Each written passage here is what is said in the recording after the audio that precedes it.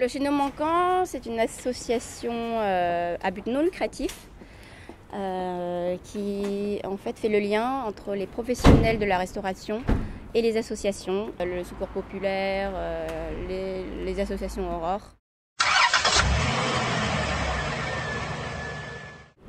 Moi je suis Ninon Chappet, je travaille pour l'association depuis euh, bientôt deux ans. Donc j'ai commencé en tant que bénévole euh, au tout début de l'association. Et depuis je suis euh, l'unique salarié euh, à temps plein euh, au Chénon. On fait des tournées en circuit court, en flux tendu, pour récupérer des denrées qui ont des DLC relativement courtes, que ce soit le jour même ou deux ou trois jours de durée de vie. Et on les redistribue directement à des associations qui viennent euh, en aide à des gens en difficulté. Donc ce sera aussi bien des aides sociales que des grosses structures comme les restaurants du cœur.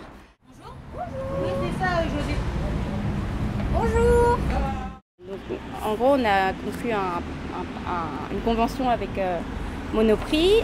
Ils nous donnent euh, leurs invendus. Euh, C'est listé sous forme euh, de, team qu'ils bipent. Et après, ils nous sortent la liste de tous les produits qu'ils ont passés en donation euh, aux associations. Et donc nous, du coup, euh, ça nous permet d'avoir le listing des produits qu'ils nous donnent. Parce qu'il y a des trucs qui sont encore euh, bons à consommer et qui, qui partent à la poubelle. donc, euh, Après, il y a des choses qu'on qu'on peut pas donner, nous, comme euh, bah, en tant que boucher, les, tout ce qui est steak haché et abar, euh, c'est des produits trop sensibles.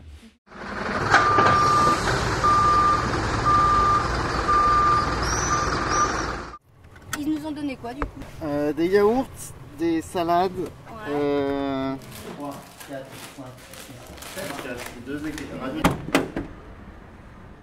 Euh, je m'appelle Antoine Sylvestre, j'ai 27 ans. Moi à la base en fait j'étais un ami de Ninon et euh, c'est elle qui, qui m'a qui m'a parlé de, de cette association et euh, puis donc du coup quand elle quand elle a besoin d'aide ou quand, euh, quand je peux bah, je, je vais aider. Alors là, du coup, on va aller au restaurant Bonjour. Bonjour. Vous allez bien Euh, On dépend du centre sociale de la ville de Paris. Donc on est restaurant, on a le deux types de restauration ici, le- en déjeuner des Parisiens retraités et le soir des restaurants solidaires, donc des personnes en difficulté, des familles euh, qui sont logées dans des hôtels et euh, qui ne peuvent pas cuisiner, donc ils viennent se restaurer ici. Les repas sont gratuits, donc euh, nous avons à peu près 100, actuellement 165-170 euh, personnes qui fréquentent l'établissement. Ils savent très bien que deux fois par semaine, nous avons des, des produits euh, de chez nos manquants. Donc, ils nous demandent aussi de, de leur. euh, ils nous réclament, quoi. Parce que bon, ça leur permet aussi de manger à la fois ici le soir et d'avoir quelque chose à emmener, éventuellement pour le, le lendemain, pour le petit déjeuner et autres, quoi. Depuis le lancement, on a ouais, une soixantaine de bénévoles qui sont venus nous donner un coup de main.